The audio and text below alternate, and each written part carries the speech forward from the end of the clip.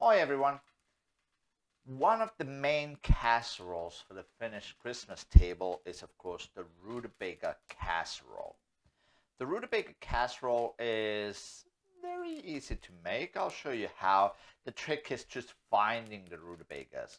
So when you go to the store, they might be sometimes be called wax turnips or even Swedes in some areas. Not that we advocate eating Swedes, of course, but it's like a uh, this this one is maybe a little bit on the smaller side. It has a waxy coating on it. It's about um, it's a little yellowish, but on one side it's darker. So when we cut through it, we're gonna find out. We're gonna find out that it has this yellowy kind of flesh. It smells. It smells like cabbage, Say.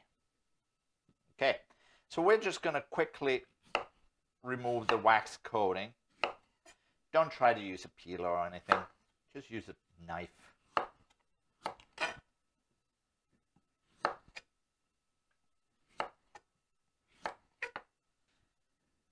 And then we're just going to slice it and dice it just to make it quicker to cook.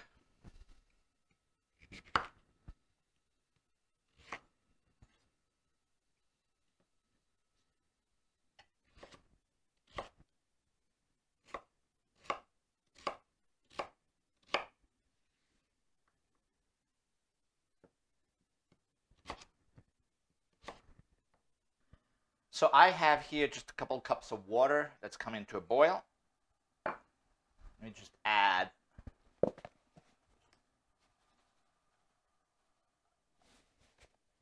a pinch of salt. And I'm just going to put my rutabaga in here to boil. We're going to boil them until they're soft.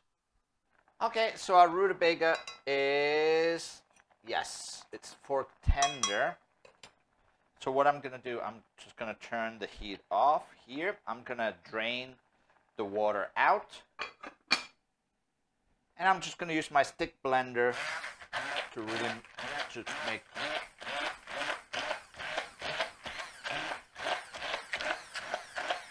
to mash them.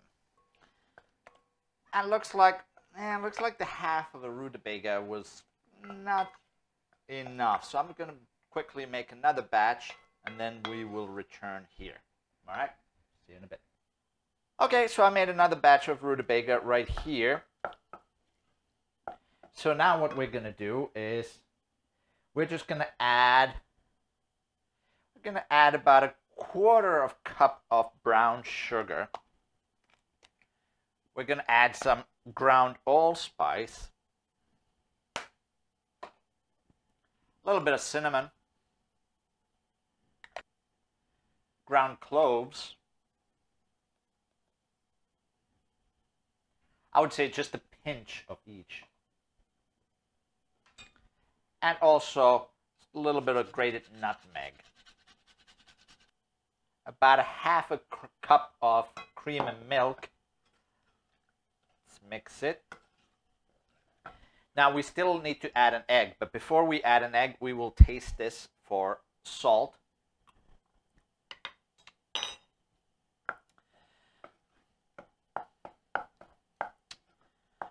I'll add just a pinch of salt.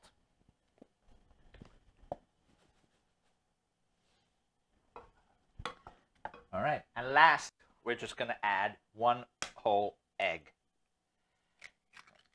Crack that in there.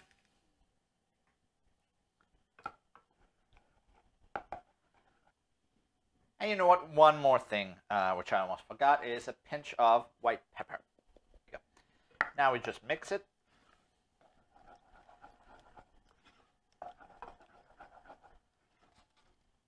So I have here some small oven safe containers. I'm just going to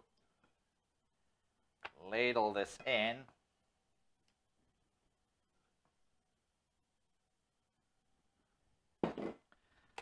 Shake it so it's nice and even. And we're just going to take a spoon and and just run it through to create a pattern, just lines through it. And we're going to sprinkle it with breadcrumbs, like so. And lastly, we're going to add several pats of butter on top.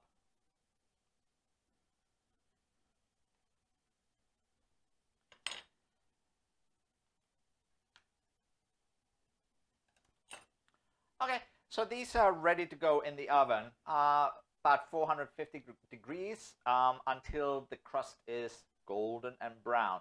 This is a good spot to freeze them if you want to make this ahead and then on Christmas Eve all you have to do is just take them out of the freezer put them in the oven and they will be ready in no time all right so I'm just going to put this in the oven I'm going to put one in the oven the other one I'm going to freeze for Christmas and then we'll be back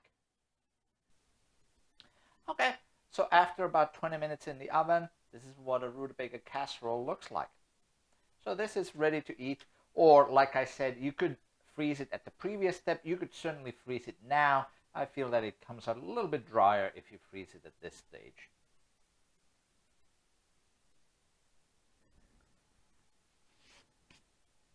Thanks for watching. Join me next time for more Finnish Your Plate.